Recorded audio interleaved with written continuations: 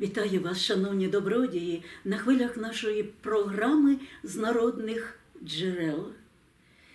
Я так думаю, що у ці весняні дні кожна із господинь уявляє себе вже на полі, на грядці. А я хочу всіх попросити, давайте посіємо чорнобривці. А чому? А про це наша сьогоднішня програма, наш відеосюжет.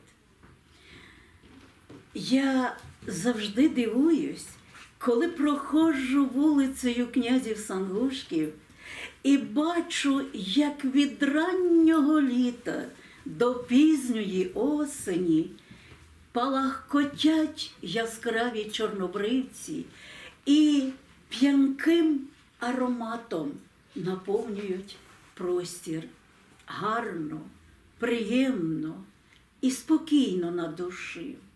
І це ж не випадково, тому що чорнобривці квіти особливі, квіти України і, мабуть, переважна більшість із нас, дивлячись на ці пахкі і палаючі квіти, згадує пісню і рідну матір. А там є такі слова, як на тій чорнобривці погляну, бачу матір стареньку, бачу руки твої, моя мамо, твою ласку я чую рідненька. Я сказала, що чорнобривці квіти особливі, і це правда. Окрім того, що вони тішать наш і ваблять наш зір, вони надзвичайно мають лікувальні властивості, але якось так ми мало про це знаємо. У Зубицької Наталії Земної знаходимо дуже цікаві рецепти, та й старожили їх, пам'ятають, рецепти із чорнобривців. Я ще восени дещо розкажу, а сьогодні я просто один згадаю. Всього одна квіточка, але її треба подрібнити разом з насінням і заварити стаканом кип'ятку. І це на цілий день, на чотири прийоми по чверті стакана. Спитаєте, для чого? Чому допомагає?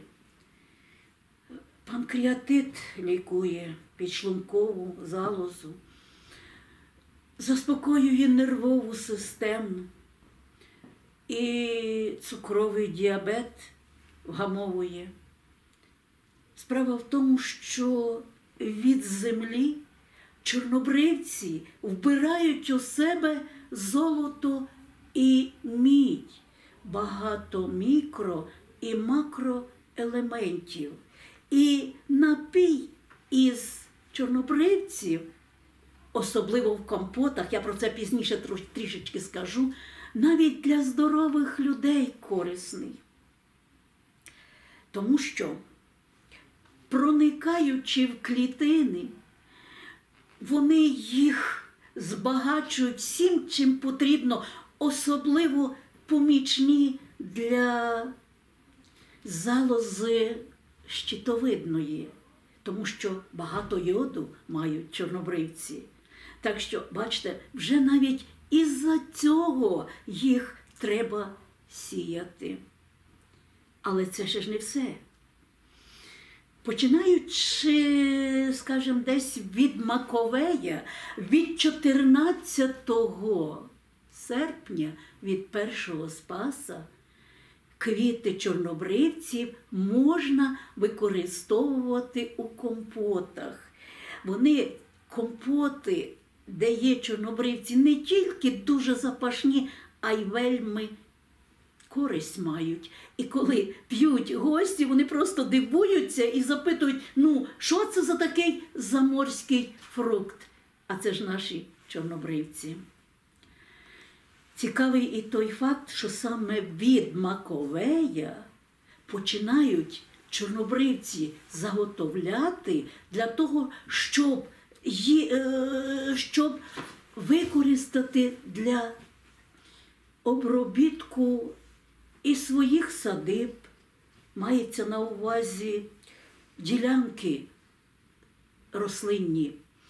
Сушать у тіні, два дні настоюють, потім перед тим, як рослиночки пошкоджені попелицею, іншими комахами, а, покропити, додають на 10 літрів 40 грам мила.